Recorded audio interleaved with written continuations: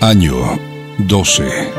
Estas fotografías corresponden al decimosegundo año de ministerio. Año 1999.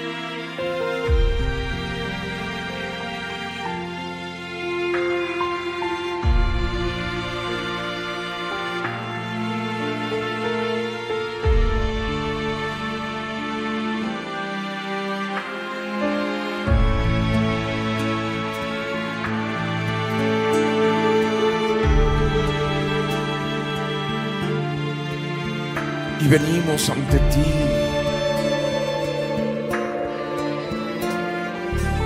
Para ofrecerte nuestro amor.